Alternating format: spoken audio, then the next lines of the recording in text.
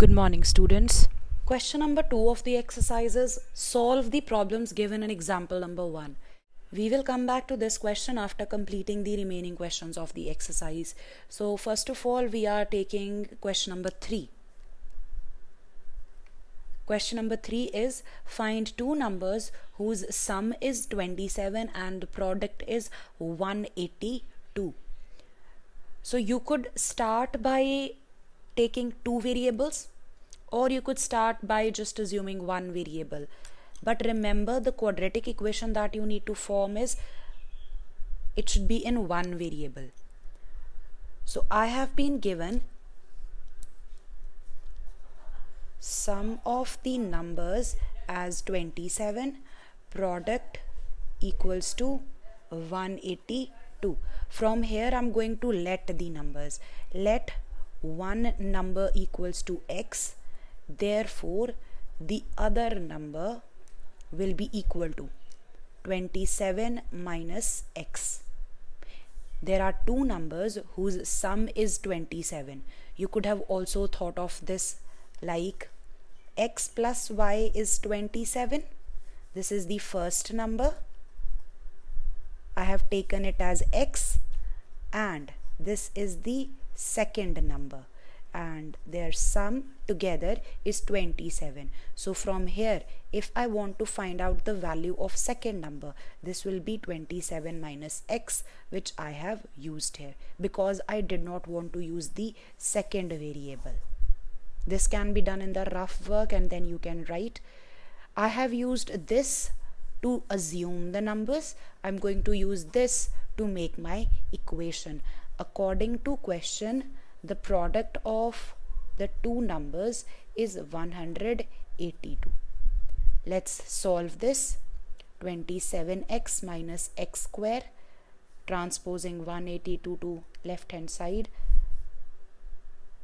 So minus x square plus 27x minus 182 equals to 0 let's take negative common or you could transpose all terms to right hand side keeping 0 here so this becomes x square minus 27x plus 182. Now I'll be factorizing these and obtain the value of x. So x square minus 27x plus 182 equals to 0. I want the product as 182 into 1 which is 182 and the sum as minus 27 think of the factors of 182 whose sum will be minus 27 so I am doing it directly. You get minus 14x minus 13x after splitting your middle term. Pairing up. So middle term split up. Now pairing taking common factors from each of the pairs from first pair x common from the second pair 13 common. The binomial is same x minus 14 into x minus 13 is equal to 0 take each linear factor equal to 0 so x minus 14 equals to 0 x comes out to be 14 or from here x minus 13 equals to 0 x comes out to be 13 so there are two answers possible. So if x is 13 so from here the answer is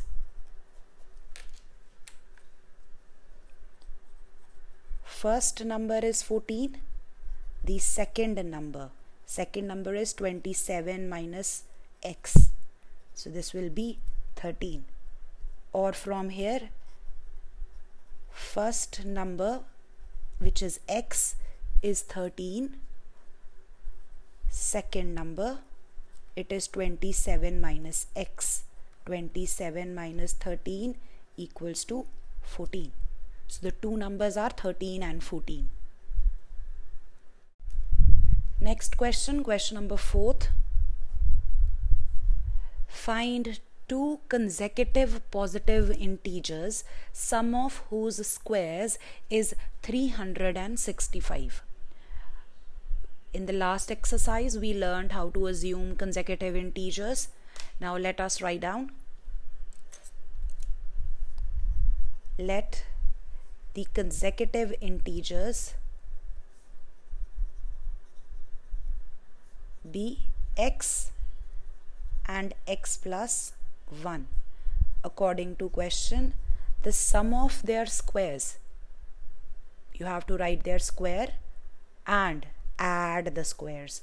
So square of the first number square of the second number add it together. So this is sum of squares.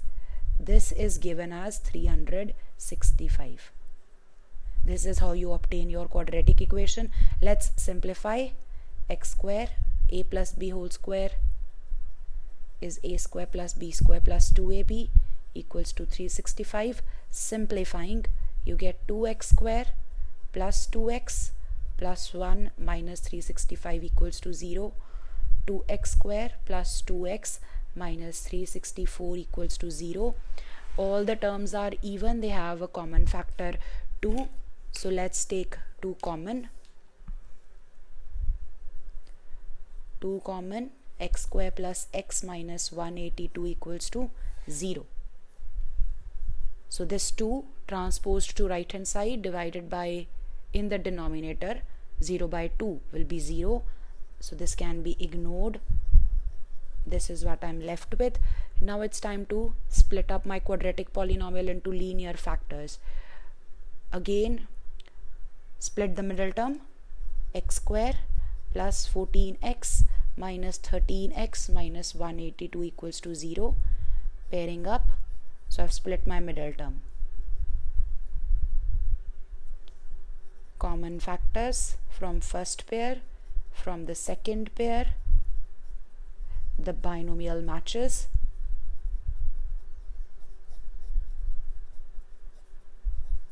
I have obtained linear factors. Now it's time to take the linear factors equal to 0 and find the value of x so x plus 14 is equal to 0 x comes out to be minus 14 or x minus 13 equals to 0 x comes out to be 13 now it is important which I told you in the previous exercise that the word positive integers will help you identify the correct answer. I have obtained two values here. One is minus 14, the other one is 13. But in the question, I have been given that the integers are positive. So this value will be rejected. You can write down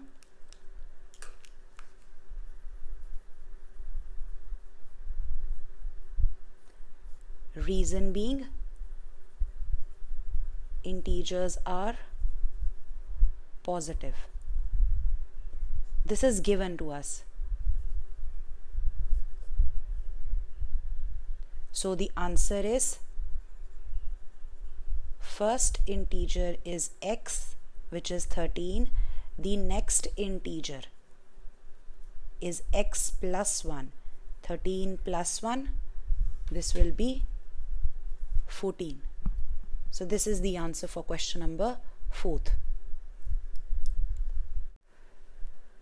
The next question that we have is question number 5. The altitude of a right triangle is 7 centimeters less than its base. Hypotenuse is 13. Find the other two sides. So question number 5 is about a right angled triangle let's just draw a rough figure so this is a right angled triangle this being the base this is the hypotenuse and this is the perpendicular also called as the height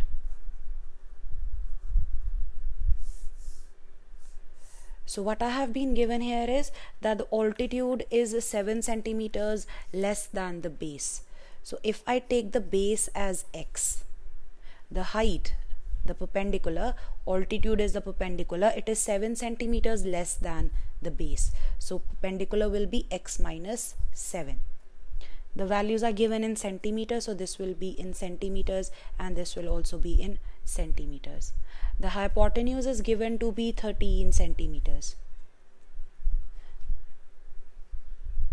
using what's given to me I have assumed the values but to make the equation I have not been given anything but I know but I do know something about a right angled triangle. A right angled triangle, its sides always satisfy the Pythagoras theorem.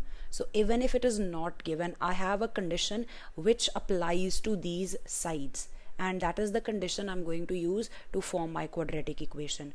So first of all writing down let base be x centimeters therefore the altitude. Altitude is the perpendicular or the or the height. This will be x minus 7 centimeters. 7 less than base so 7 is to be subtracted from the base value.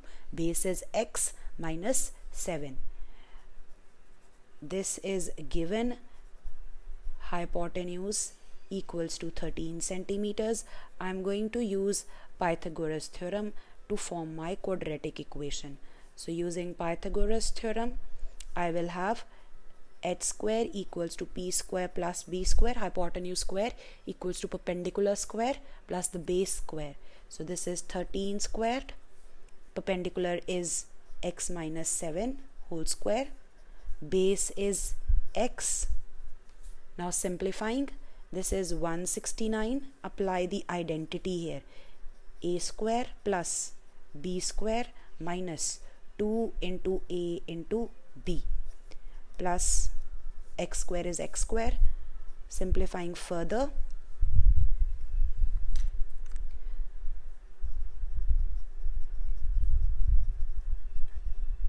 So this on simplification becomes 2x square minus 14x plus 49 taking this to right hand side equals to 0 0 on left hand side. Simplifying it further this comes out to be 2x square minus 14x minus 120 equals to 0 all the terms are even. Let's take 2 common. So this 2 when transposed to right hand side will be 0 by 2 and this becomes 0 so x square minus 7x minus 60 equals to 0 now split the middle term. Factorize. Obtain linear factors from there find out x. So I'm doing it quickly on factorization. This is what I get. Pairing. Taking factors common from the first pair and from the second pair. The binomial matches. So x minus 12 in the brackets. I'm left with x plus 5 equals to 0 taking each of these equal to 0 one by one. X minus 12 equals to 0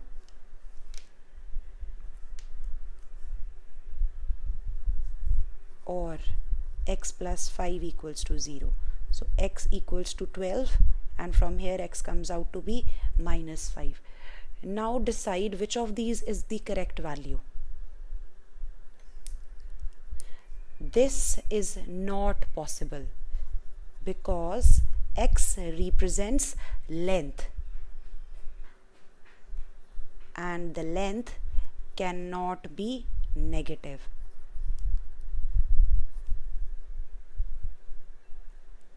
So therefore this is the correct answer. Using this I can find out the value of the base and the perpendicular. So therefore base which I assumed as x its length is 12 centimeters and the height or the altitude of the triangle was x minus 7 so this will be 12 minus 7 equals to 5 centimeters. This is your answer